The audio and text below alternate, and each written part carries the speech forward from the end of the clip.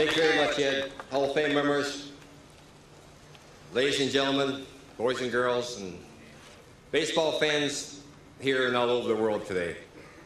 I would like first to uh, say to the Fox family and those members of the Wells and the Lasordas, I would like to congratulate each and every one of you. I'm honored, Tommy, to go in with you because we have done some battles before, and it's an honor sitting next to you.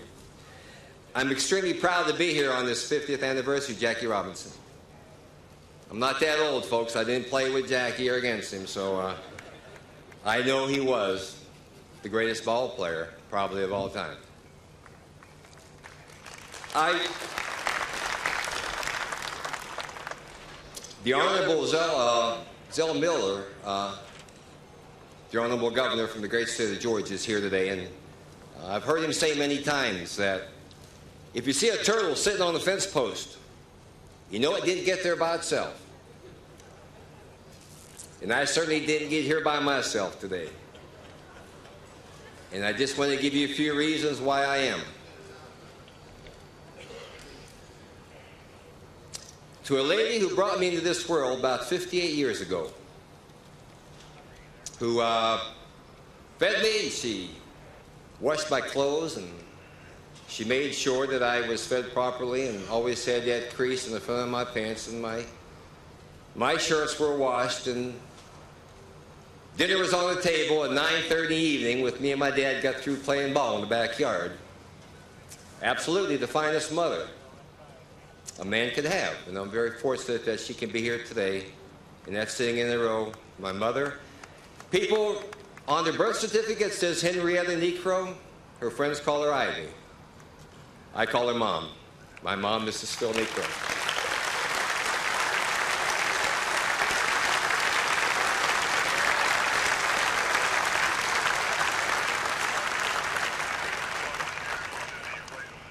We're all very fortunate in our life to be blessed, to be associated with certain people in our lives.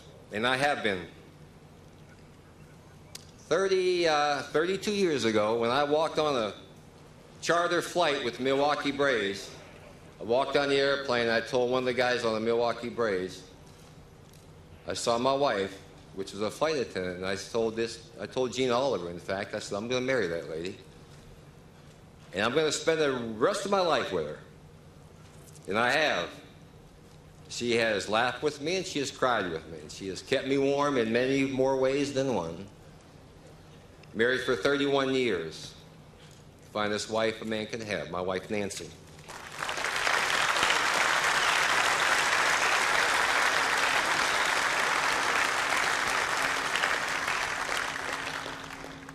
We all have sisters, we all have daughters and sons and daughters and nieces and nephews. My wife gave me three healthy and lovely boys, and they're with me here today.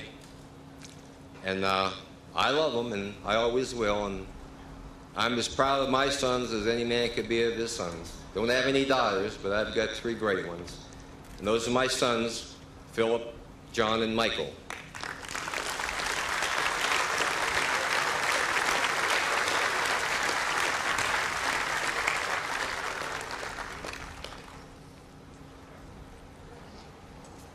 We all have sisters and brothers. I have the finest brother and the finest sister in the world. I know that. I have a sister that I've known, well, all my life. And probably if there was a Women's Hall of Fame today, she would probably be in it because she's the one that caught my knuckleball in the backyard. And can still catch it. She is in my Hall of Fame. If you've never been touched by an angel, you've never shaken my sister's hand. My sister Phyllis Dillmore, right here.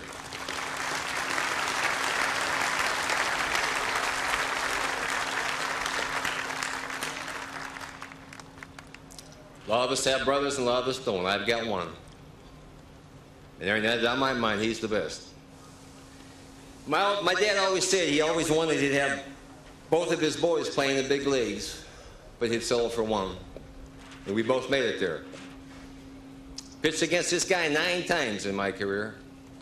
He won five and I won four. I guess the way it should be because he's the baby.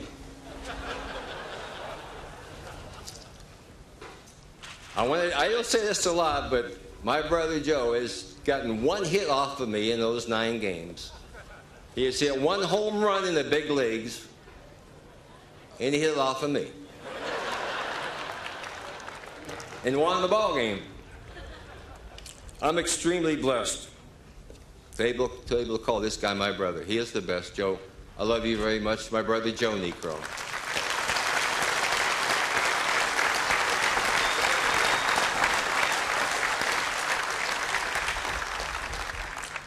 I know Don mentioned, Don this other gentleman, and I just want to touch on him because uh, we all grew up with certain people in our lives, and I grew up with this guy. He could hit a baseball and play baseball better than I could. He could shoot a basketball better than I could, which you all know, and he could throw a football further than I do. Well, th- one thing he couldn't do better than me was throw a knuckleball. He's been an inspiration to me all my life, and that's a great friend, my good friend, John Havlicek. Thank you, John.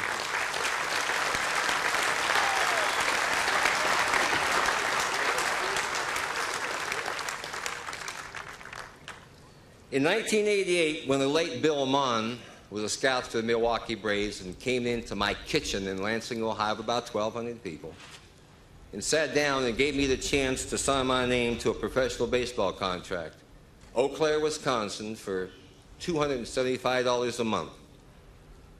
Probably more than some of these guys made when they first signed, but that was a lot of money to me. My father says, "Mr. My, you're not going to get my son."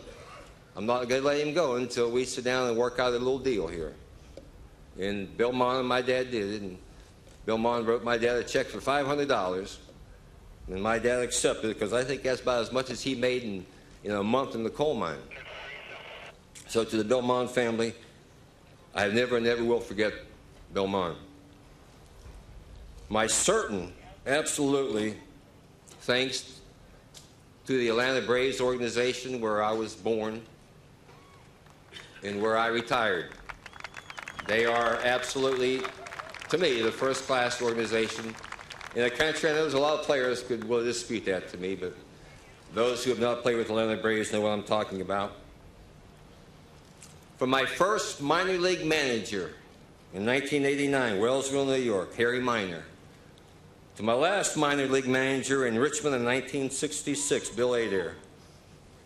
And in between, when I played in Jacksonville, Florida, my manager by the name of Red Murff walked up to me and said, Son, he said, if you get that knuckleball over the plate, you can pitch in the big leagues. And I believed him. I've had a lot of respect for Red, and I still do, and he's here today, and I just want to say thank you, Red, for finally someone in my lifetime at that age telling me that I could pitch in the big leagues with that knuckleball.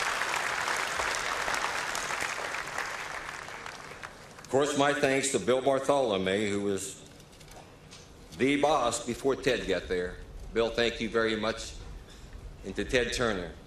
Everybody should play for one manager in their lifetime or one organization, and everyone should play for the Atlanta Braves sometime in their life.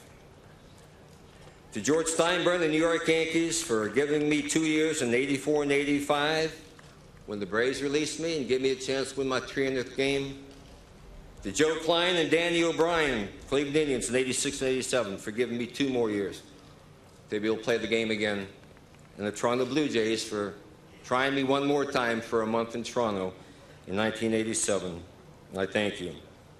And especially again to Atlanta Braves, Ted Turner and Stan Kasten for signing me for one day, for one dollar, to pitch one game, or at least start one game to be able to walk out on that field and knowing that I was going to end my career with Atlanta Brave hat on.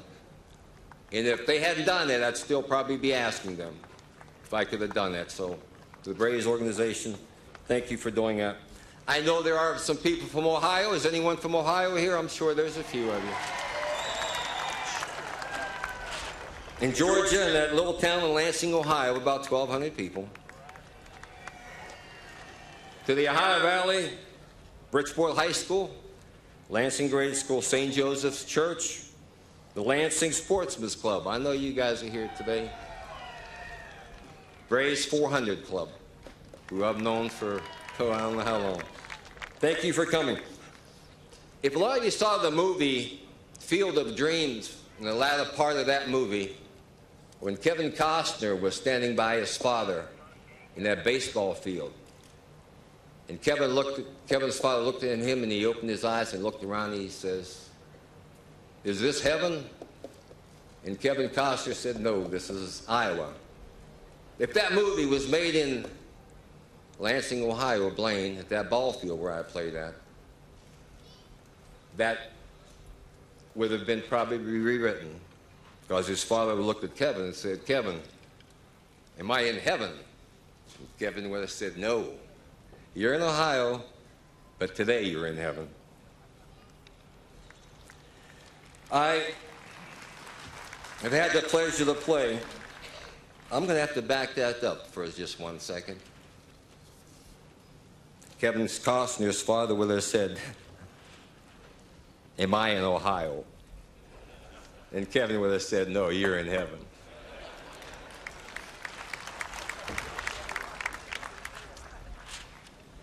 Back in the fall of 1993, a friend of mine named Bob Hope called me and asked me if I would consider managing a women's professional baseball team. And I said, Bob, I don't think so. I said, I played baseball all my life, and I don't know. After I realized what the story was about, and that the Coors Brewing Company was going to put the money behind this program, I said I would. So I'm going to have to thank, and I would like to thank Mr. Prita Coors and Leo Kiley for stepping forward, finding this country, and at least giving these women the chance to play baseball. I know a lot of people don't agree with it, maybe can't understand it. But my feeling is this this is America. And this is the land of the free and the home of the brave. And all they want is a chance to play baseball and an opportunity. And I think that's what this country can give them. And I am, I am,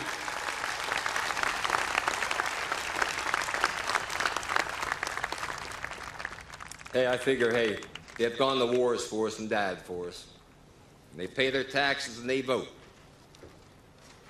In 1960, when tennis champion Bobby Riggs said that men deserve better treatment than women because they're better players, found out differently when Billie Jean King beat him in the straight match set. So I'm honored and very privileged to be a part of an organization for the past four years. And I would like to introduce you along with the coaches and the owners, the 1997 Colorado Silver Bullets, right over there.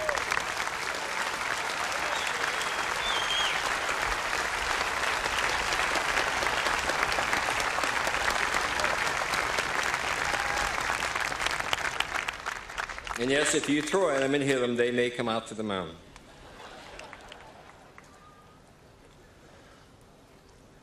There's a lot of people here, a lot of friends of mine, and a lot of families, and thank you for coming from so far and near. From all my friends in Georgia and Ohio and Michigan and Florida and California. I know it's been a long trip, and I'm thanking you now for coming and sharing this day with me. But there's one man that's not here. He's not here. A man that taught me, oh, he taught me how to catch a fish, and he taught me how to put a worm on a hook. Taught me how to clean that fish. Taught me how to rabbit hunt. Taught me how to squirrel hunt. Taught me how to play pinochle and took me to church. Always had time for his family. Didn't make a whole lot of money, but I tell you, he saved the first dollar of his paycheck for us and the last one. He's not here. And he always told me, he said, son, he said, if you want to earn an honest day's dollar, he says, you got to put in an honest day's work. I have tried to do that my whole life every time I have put that Major League Baseball uniform on.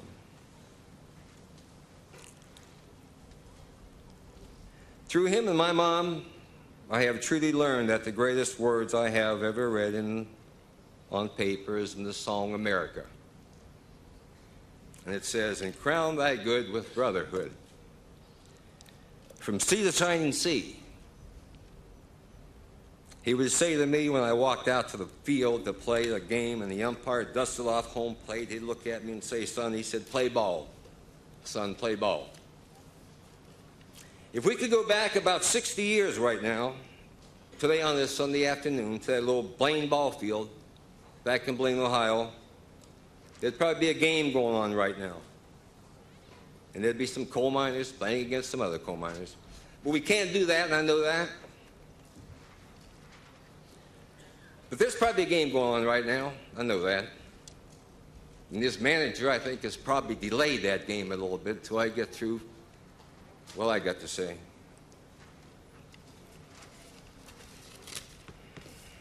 And as my dad would take the field right now,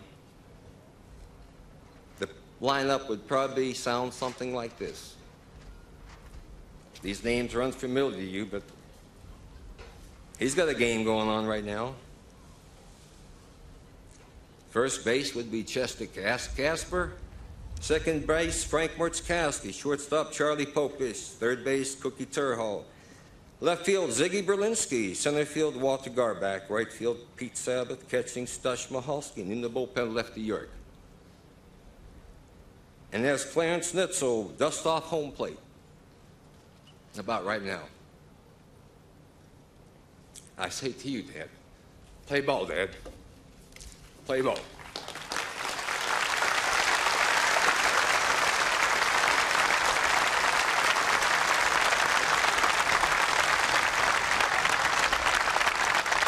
I want to leave you with this.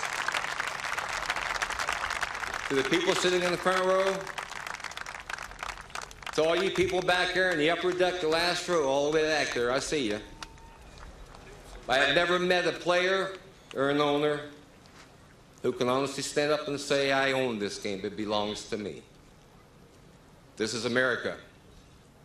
America's baseball. This game is owned and it belongs to you, the fan. Cherish it and take care of it. Thank you.